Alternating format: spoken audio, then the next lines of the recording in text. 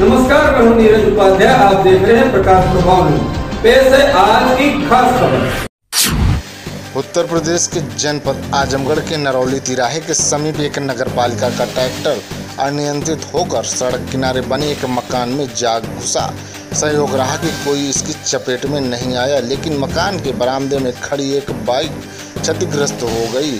बताया जा रहा है कि नगर पालिका परिषद का एक ट्रैक्टर सैनिटाइजर टैंकर सैनिटाइज करने के बाद मुख्य सड़क पर चढ़ रहा था। चढ़ान अधिक होने के कारण टैंकर से भरा ट्रैक्टर अनियंत्रित होकर बगल में स्थित शैलेंद्र शर्मा के मकान में जा घुसा।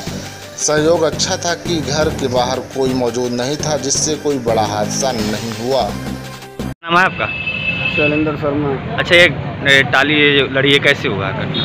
ये लेके आ रहे थे।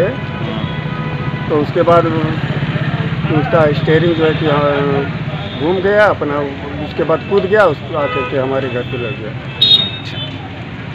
इसमें कोई घायल हुआ? नहीं कोई घायल नहीं हुई गाड़ी टूटी हुई है।